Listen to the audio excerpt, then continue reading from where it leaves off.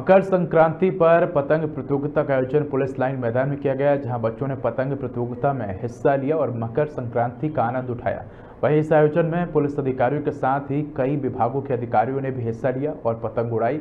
इसके अलावा kite festival में नृत्य गायन का आयोजन भी किया गया, जहाँ बच्चों ने अपनी प्रस्तुति से सभी को मंत्रमुग्ध कर दिया।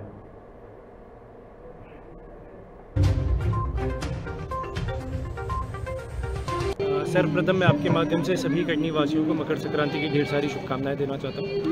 आज एसपी सर के इनिशिएटिव पर यहाँ पर पुलिस लाइन्स के अंदर काइट फ्लाइंग कंपटीशन हो रहा है। एक बहुत ही हेल्दी प्रतिस्पर्धा हो रही है, जिसमें सभी विभाग इन्वॉल्व हैं। जिसमें ज़िला पंचायत के भी सभी कर्मी पूरे इंतजाज़म के साथ में आज यहाँ पर आए पतंग उड़ाने के लिए।